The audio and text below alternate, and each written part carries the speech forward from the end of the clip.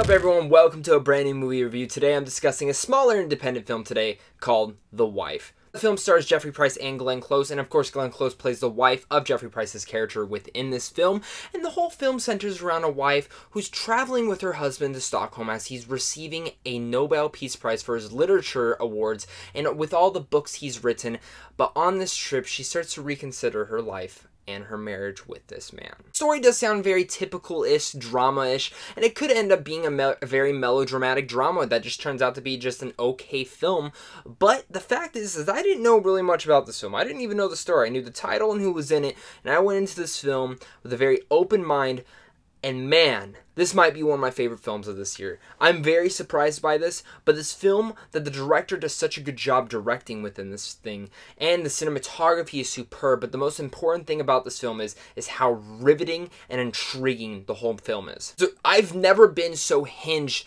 on every word of dialogue, every moment to moment happening within the story like I was within this film. This is the first film that I would even go as far to say that I think deserves Oscar consideration because Glenn Close gives one of the best performances of this year, hands down down. Probably the most powerful female performance right now. Jeffrey Pryce goes as far to say that he's one of the best performances as well this year. He's wonderful, he's fantastic, and just seeing the character study between these two characters and their marriage and how it works, it felt so realistic, it felt so real. The whole film feels realistic and real. It, it gave me that feeling of how Call Me By Your Name made me feel like a fly on the wall. The same thing happens in this film. When you're watching it, you don't see the actors or the actresses portraying these characters, you just see the characters and their events going. It feels like you're just sitting right there with them, especially how the film portrays itself as a ticking time bomb in a sense with the story when you know something's going to go wrong. From the second the film opens up, it's just very ticking-ish. This ticking time bomb just con keeps continuing. You get more riveted and more intrigued within the story. I was very intrigued from the start of this film to the end.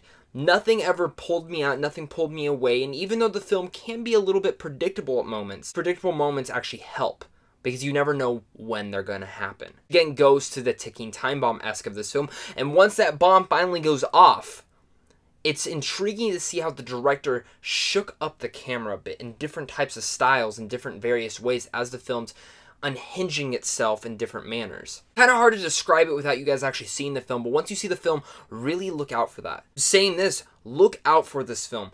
Again, this is one of the most powerful films I've seen this year with the powerful character study from both these actors, from a great relationship, from something that just seems like you're watching it right from the center, right? Like you're in the room watching every single moment happen.